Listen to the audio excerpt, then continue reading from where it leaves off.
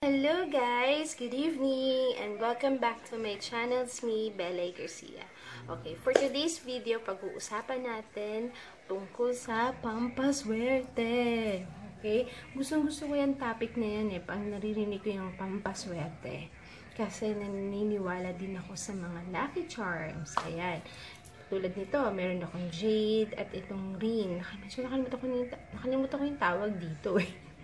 Anyways, Then, meron din ako sa wallet kong ito. Bumili din ako niyan. Mura lang naman siya, guys. Hindi naman ako bibili ng mga Lucky Charms na sobrang mahal. Then, meron din ako sa pintuan ko. Nakatulad din ito. Pero this time, nagulat ako ha. Meron kasi ako dito sa bahay. Hindi ko akalain na pampaswerte din pala to. Nasa kusina ko lang naman siya. Ginagamit ko siya pag nag-aadobo ako. And I'm sure alam niyo na rin to, napanood niyo na rin to sa YouTube. Ako nung, kanina lang, kanina lang umaga ako, kaninang umaga ko lang to napanood at na-excite naman ako. At nakaka-excite din yung um, isang napanood ko na gagawin, parang ritual yung tawag ata doon, no?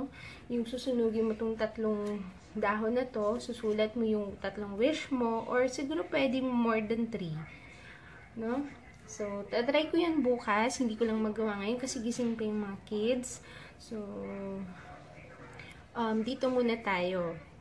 Um, na maglalagay ako ng tatlong dahon na to, na dahon ng L'Oreal, dito sa wallet ko. Pero sabi, may, uh, dapat daw ilagay siya sa isang plastic. So, meron ako extra dito na may sealed. So, dapat daw ilagay siya dito sa loob. Okay.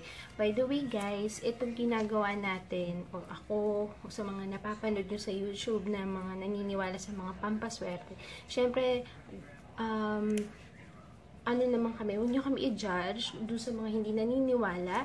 Kasi, syempre naman, um, number one pa rin si Lord sa amin. Okay? Ano lang naman to eh, kumbaga parang inspirasyon, ba diba? So, yun na nga guys, tomorrow, gagawin ko yung um, sinulat niya yung tatlong wish niya at sinunog niya. So, kailangan nyo lang doon guys, kandila of course, at sa chani daw. Kasi para naman for your protection, 'di ba? Hindi yung pag nasunog yung daw, 'di ba? Pati gagawin ko yung um, ritual na yon at tignan natin kung ano magiging effect din ito sa buhay ko at try nyo na din, di ba? So, good night na guys and um, may pasok na ulit bukas, okay? So, dapat maaga tayong gumising para magandang energy natin. So, kung ano man nangyari sa inyo nung last week, mga um, hindi magandang pangyayari. So, magpasalamat tayo kay Lord na binigyan niya tayo ulit ng panibagong araw para mabago natin yung mga pagkakamali natin. So, yun lamang guys again uh, and good night.